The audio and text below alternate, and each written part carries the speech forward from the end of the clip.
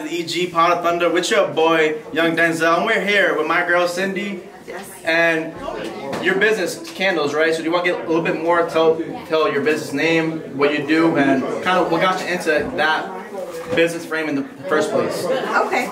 Um, so my name is Cindie. I'm the owner of Sacred Flame, based uh, in Providence, Rhode Island, and I sell non-toxic intention candles, and I garnish them with crystals and botanicals. And the reason why I do that is because of the healing properties of inside of the healing properties that I use. Um, So the healing properties, what can you get? I'm like very novice into that at all. I have no idea kind of what you're speaking about. So what would you? What do you mean by healing spirits? Like So, so each can, so they're intention candles, and each crystal, I use a specific crystal for each candle because of their healing properties.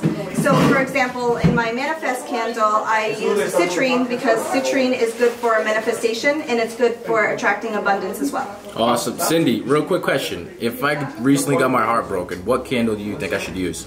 Oh, that's a good question. he's going through it right now. So don't. Yeah, my life him is in shambles. I'm trying to pick it up. You know, we'll figure it Um, out. oh, that's a good question. Uh, Lead maybe them to the promised land. protection. Protection. Protection, okay. Yes, so that's scented as rosemary sage, and I have a black tourmaline in there, and black tourmaline is actually like one of the most powerful protection stones. Okay, so so what about so the weather's getting nicer. I want to go out. You know, I want to like foresee my future. I want to get a little crazy outside in the summertime. Yeah. What do you what do you recommend? Maybe something citrusy. I don't know. What like what what what what steps are we taking? Um, so I would, I have a cleanse candle, and that is citrusy. So it is blood orange and grapefruit. It also has a citrine crystal in there. Like I said, it's good for manifestation and abundance. I also have a tranquility candle. Oh, nice. And it smells like a spa. And I have a prehnite crystal in there, and prehnite is good for promoting love and peacefulness.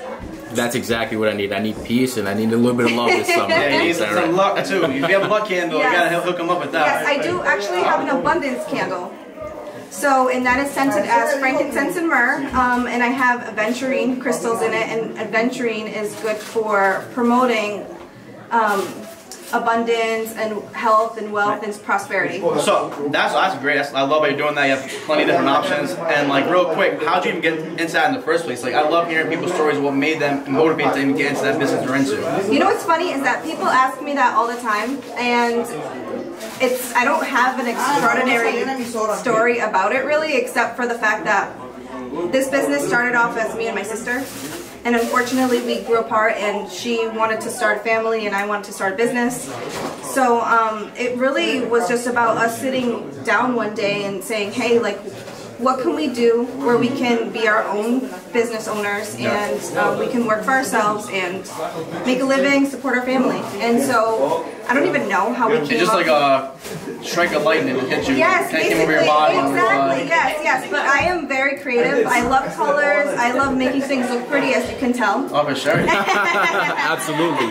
Look at her. Absolutely. Everybody Yes. look at her. Um, but I, I love being creative and I love doing artistic things. So it actually came out perfectly where I love candles and I was like, we just started experimenting and then it kind of took off from that. So you have your full-time job is what you're doing Yes. at all times. That's great. That's, a, that's definitely an inspiring story. I mean, do you have any words for anybody who's feeling like maybe nervous and nervous to take that leap to the next step and be a full-time entrepreneur? What advice you have to someone in those shoes right now? It's funny because um, I'm huge in the, um, the like I'm big in markets right now, and someone who is just starting in the markets. I had a Zoom call with them earlier in the Oh, week. big payment, Because big things, exactly, things yes. coming. We had a Zoom call, Hey, and awesome. they were asking me the same questions that you were asking me, and all I said was basically just immerse yourself fully into your business and love what you do, and you will be successful. But it, just like anything, it, it goes with it's it's really you just being productive and you